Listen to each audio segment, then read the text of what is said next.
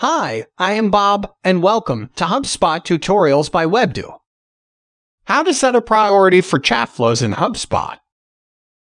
If you have created two chat flows target the same page URL, or a contact meets the criteria for the segmented list used in the chat flows targeting rules, you can decide which chat flow should have the top priority and display instead of the other.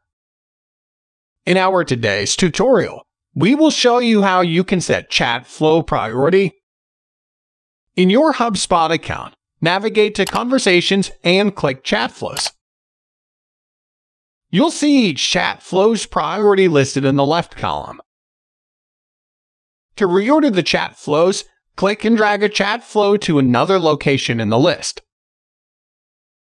To move a chat flow to the top or bottom priority, hover over the chat flow and click the More drop-down menu and select Move to Top Priority or Move to Bottom Priority. That's how you can set a priority for chat flows in HubSpot. Thanks for watching. Feel free to ask any questions in the comment section, and we will be happy to answer. If you like the video, give us a thumbs up and press the bell icon to subscribe to our channel.